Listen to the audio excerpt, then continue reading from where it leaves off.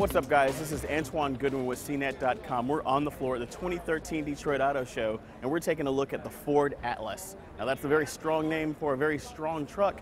This is a early preview of what we should expect from the next generation Ford F-Series of pickup trucks.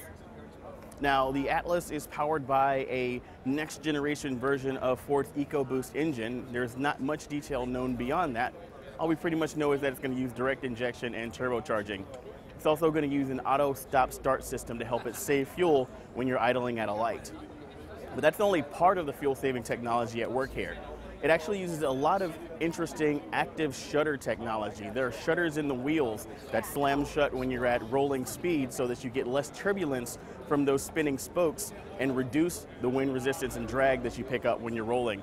There are active shutters in the front grille that slam shut to uh, reduce a little bit of cooling, but you get a lot more of a slick profile when you're traveling through the wind. And there's also a drop down lower air dam that slides down from the front bumper, reducing the amount of air that flows underneath the car.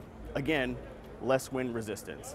Ford's also working on a lot of driver aid features for the next generation F-Series driver, including a trailer assist that helps you reverse when you got a trailer on you, a hitch active assist that helps you line up the trailer hitch the first time every time when you're trying to actually attach the trailer to the truck, and a 360 uh, bird's eye view camera that lets you see all of the ground around the vehicle. This is similar to what we've seen in Infiniti vehicles previously.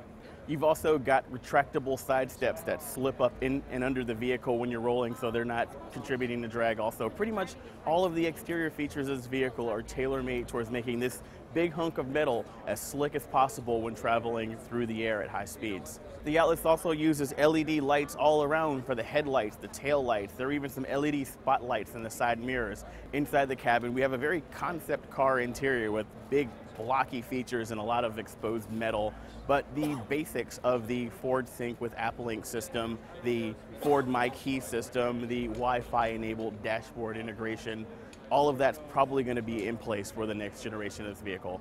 Well, I'm Antuan Goodwin with CNET.com. We've been on the floor taking a look at the Ford Atlas pickup truck concept.